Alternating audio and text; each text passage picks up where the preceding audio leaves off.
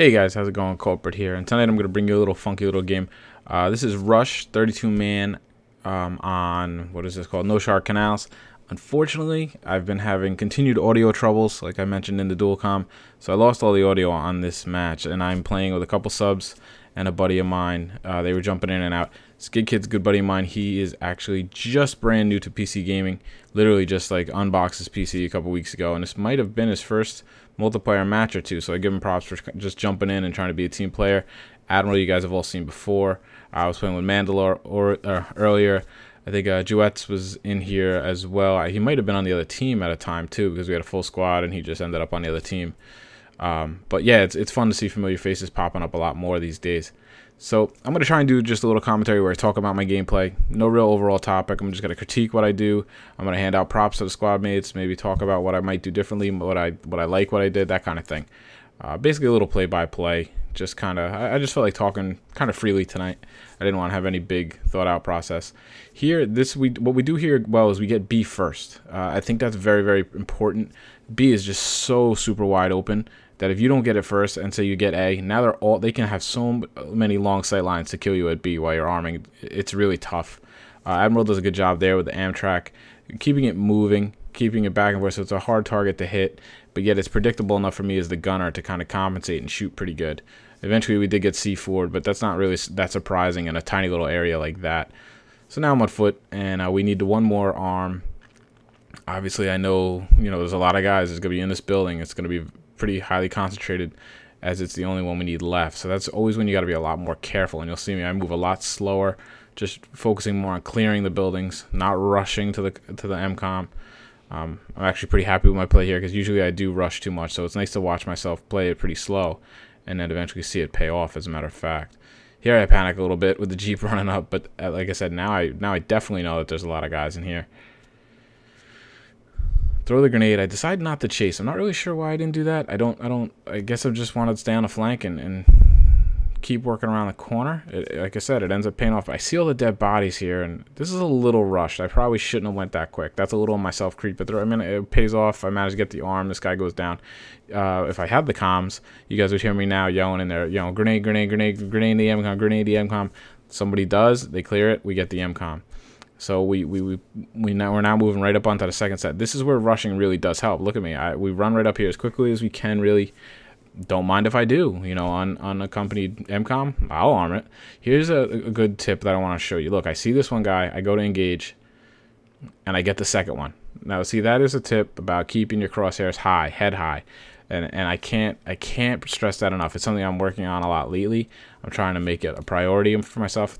I'm just gonna throw a grenade right there on the MCOM, help defend it a little bit in case someone sneaks in for the uh, the the disarm. But like I was saying, if you can keep your crosshairs high, head highish, you're gonna get away with a lot of stuff like that. Like I had no, that was a crazy rocket. I had no idea that that guy was there. You know, normally he would have surprised me, and if I had my crosshairs down a little lower, he might have gotten the kill because I was already engaged with the other guy. So by having the crosshairs high, I, I, got the first guy, and that guy just basically walked right into a headshot. He had no chance. That um, that happened to me a couple times this night. That's why I'm bringing you know mentioning it because you know I'm you guys are only seeing it once, but it literally did happen to me probably four, five, six times where I had no idea a guy was there, and he just ran right into a headshot. So definitely try to work on that if you're looking for a little tip. It's something I, like I said, I'm working on as well.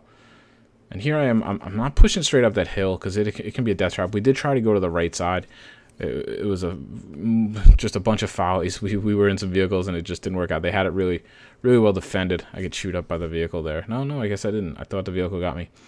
Uh, so I decided to flank left and just try and hold off the reinforcements. Here we get it armed. We're trying to defend. There's a whole bunch of guys in that building. And this truck rolls up. Luckily, they take it out.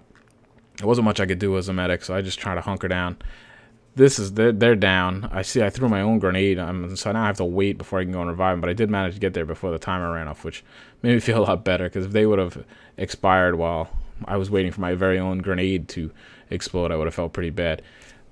I want to take a moment here. Rush. I mean, most of you guys know this, but tickets are super super important on attacker side. You can make an argument that reviving your teammates is more important than killing the enemy.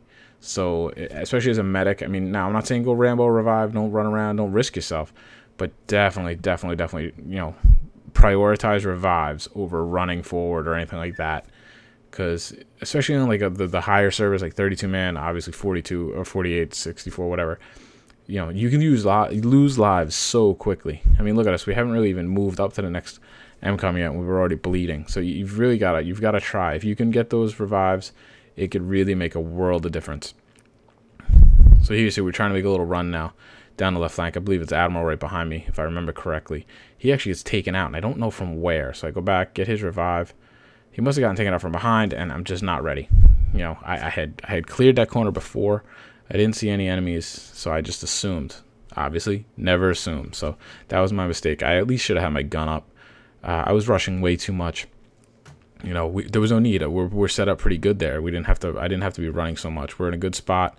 We could have worked our way, peeked some corners, and really done a much better job there. Obviously, we do get the Amtrac. I'm trying to just kind of pull it up you know, clear some guys, cut some guys off from the building because their spawn point is back there, uh, down by the river there. I'm also trying to use, like, just keep this relatively close so that it has, you know, it can be act as a spawn point for the rest of the team, not just the squad. Uh, we do a pretty good job of this. Uh, eventually, though, you know, guy, I see some guys getting into the building. It's obvious that there's guys, you know, holding up just outside the building there, so I decided to push it up a little, little further. Not just yet, because obviously I'm taking some heat there these things are just so tough. They're so hard to kill if you don't give them a good shot. So if you keep them behind some cover and just kind of always smoothly moving, I really wanted to get that SOFLAM out of there, but my gunner didn't didn't go for it. You see a lot of sniper slopes up there on that little hill back there. So I decide now it's time. Let's let's just go for the MCOM. And I decide I'm just gonna jam this thing in here and leave him. Let him. You know, I'm, I'm hoping that he stays with the gun, and I can jump out and engage as well. I pull back just because I see that armor there. I want to give him a little more cover. Then I try to get him in a good spot where he can cover that MCOM, and I jump out. He stays with the gun. So now that thing can act as a really nice spawn point for everybody. It, obviously, you guys know how powerful the gun is, but now I can go on foot and I can do some work myself. Uh, there's really no sense in me staying in the vehicle at that point, you know, because I'm not going to do, you know, I'm, I can't really do much.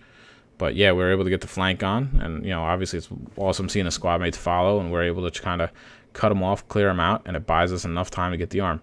I saw heads uh, teammates in there, decided not to go in there and armor myself. I figured I'd go in Overwatch position, and I can't really say any. You know, it definitely works out. I don't know what the other team was really doing. They didn't really push that much. Like if you see the vehicle is pretty far back, and he's been back there the whole time. So I, I, he's basically just shelling the building. Is all he's really doing. Obviously, shows it, it, it wasn't very effective. So yeah, we managed to hold this one off as well. We got this one pretty easily. Like I said, if they would have brought that armor up, it probably would have made it a lot harder for us. So here we immediately, as soon as that MCOM goes and you know you get the all clear, we're pushing far, far to the right. We could obviously see between that SOFLAM, all the sniper glints, and that vehicle that the left side was not the way to go. And you can get penned in along the left because of the water there and everything. So I, I prefer to go to the right. The problem with right is there can be some really long sight lines, like just like this. And I was having a really hard time hitting these guys. I don't know what what was going on. I was getting kind of frustrated, but but if you can clear these long sight lines, look at the amount of ground I can gain. You know, we make two kills. I, I believe my squad mate, if it was Admiral, I think he got picked off. But at the same time, I mean, I just got a couple hundred yards by killing two enemies. You know, I, I pushed a little too hard here. I probably should have taken it slowly. Should have waited until a squad mate or two spawned on me. But, you know, there was no harm, no foul. I ended up getting away with it. Got the two picks. I don't know why I took my bullet off, my gun off that guy, but, you know, nice little medal there. See guys falling again. Tickets, tickets, tickets. We're in a good spot. I'm relatively safe. I got plenty of cover. Go get those revives. Keep the guys, especially when we're this close to the to the crate. You know, try to keep as many guys up as you can. And and I I managed to get picked off. I was I was getting a little lazy. This I wanted to mention here. This is a good job by Admiral. We were in the comms, obviously. We were, we were squatted, uh, Skyped up, and I'm saying, I'm down, I'm down, I'm down. Stay alive. Give me a spawn point. It, it proved not to be necessary because the Amtrac was right there. But, you know, you saw him. He was behind cover. He was staying back off the firefight a little bit and provided me a really nice spot to spawn. And, and that's just good squad play. That's good teamwork. And right there, Skid, he's got the Amtrac right up close, not in the middle of all the shit, but, you know, close enough that, look, I, I was able to spawn right in and be right on the right on the crate so you know, it's just good good team play all around. I was really happy with this round. It was a tough night. You know, I, it was really tough night. We ran into a lot of really bad teams, but this was a good match. and I was really proud of how, how well we all worked together. Considering that most of, I mean, I've played with Admiral a bunch of times, but and I played with Skid quite a bit on the uh, Xbox, but not a PC, and he, and he was just learning himself.